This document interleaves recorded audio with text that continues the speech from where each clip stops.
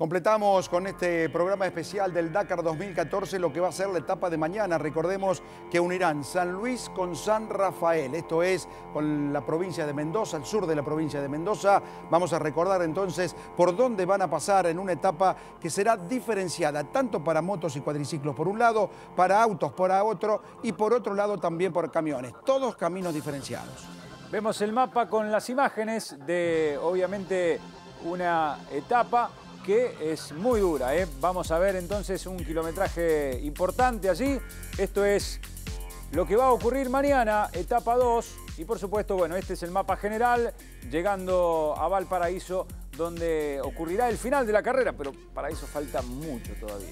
Desde ya, recuerden ustedes que eh, el especial de motos de mañana tendrá 359 kilómetros, para los autos 433, para los camiones 400, es decir, que estarán alrededor de los 750 kilómetros entre enlace y eh, super especial para las categorías que compiten en este Dakar y eso importa porque van sumando kilómetros, van sumando caminos diferenciados y mañana tendrán una oportunidad básicamente para entrar en las dunas, es decir, la carrera cambia de superficie.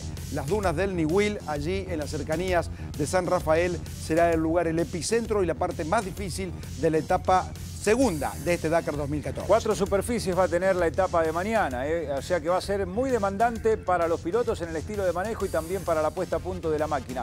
Mardif ha ganado la etapa entre los camiones, los argentinos están en carrera pleno en esta etapa 1 en el puesto 26, Germano en el puesto 38 del Soto y en el puesto 55 aparece la dupla de los sanjuaninos junto a Hernán Roberti, las tres tripulaciones de los argentinos en acción en esta etapa 1. Les recordamos entonces que Carlos Sousa fue el ganador en la categoría autos con el auto chino, con el Great Wall, el Haval, ¿eh? un, modelo dentro del grupo automotriz de Great Wall el segundo fue Orly Terranova y obviamente el mejor argentino, en lo que respecta a la categoría motos, Joan Barreda fue el ganador de la etapa y el mejor argentino fue Javier Pisolito en la posición décimo noveno y en lo que respecta a la categoría cuadriciclos, el ganador fue el chileno Ignacio Casale y el mejor argentino en segundo lugar, Marcos Patronelli. Muy bien, llegamos al final de este encuentro, de este Dakar 2014. Los esperamos mañana con mucha más acción. Esto recién comienza. Aquí estaremos, eh, a 22.30 en esta misma pantalla. Muchas gracias. hasta mañana, muchas gracias.